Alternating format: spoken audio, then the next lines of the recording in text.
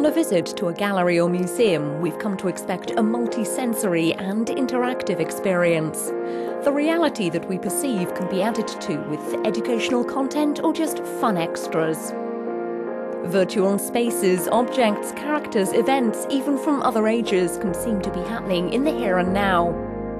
This is known as augmented reality, virtual elements added to the real world.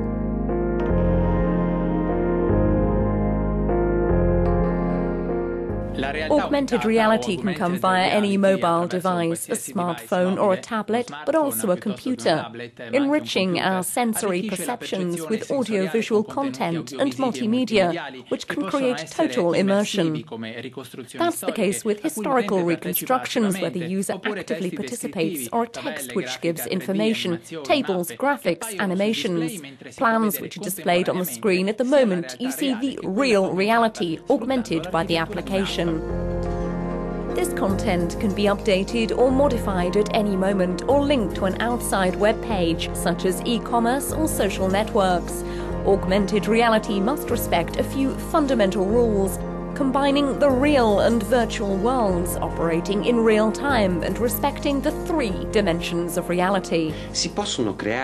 We can create virtual itineraries in museums or in exhibition spaces as well as outside. As well, augmented reality can be linked to a work of art even when it has been lent to another gallery. We can create virtual trails with the artist who might not even be in the same space, in the case when the museum is too small quando per esempio un museo è troppo piccolo. Steven Spielberg's Jurassic Park is seen as one of the first so-called mixed reality films combining digital dinosaurs and filmed images.